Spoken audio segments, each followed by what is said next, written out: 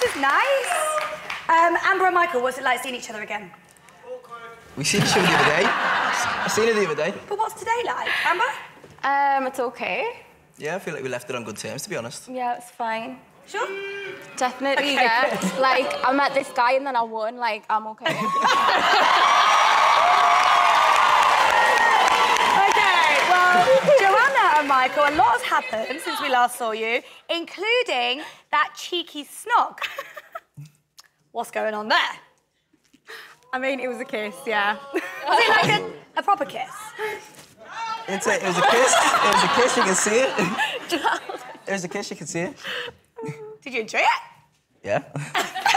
Are you dating?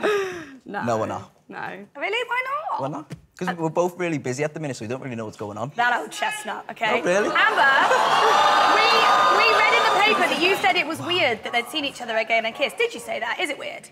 yeah, I did say that. Why do you think it's weird? Um, because, you know, it was me, then her, then me, then her, then me, then her. So, just. Amber, Amber, should Joanna trust Michael? Just